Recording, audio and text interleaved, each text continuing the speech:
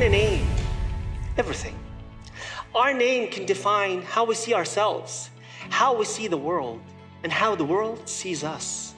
In many ways, our name defines our identity and our very being. My name is Mohamed.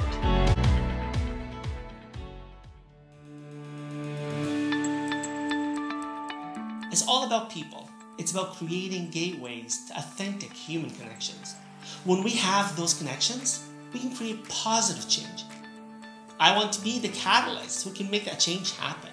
So my work is about helping others become agents of change themselves.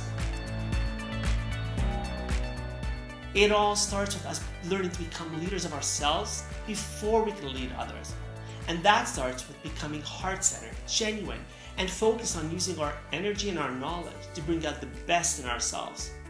When we show up authentically, we can make a positive impact in every situation. Emotional intelligence is not a struggle between a head and a heart.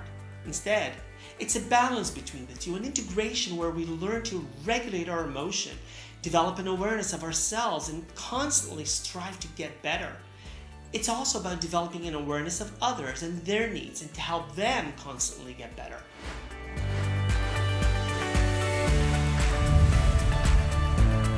Change starts with us together.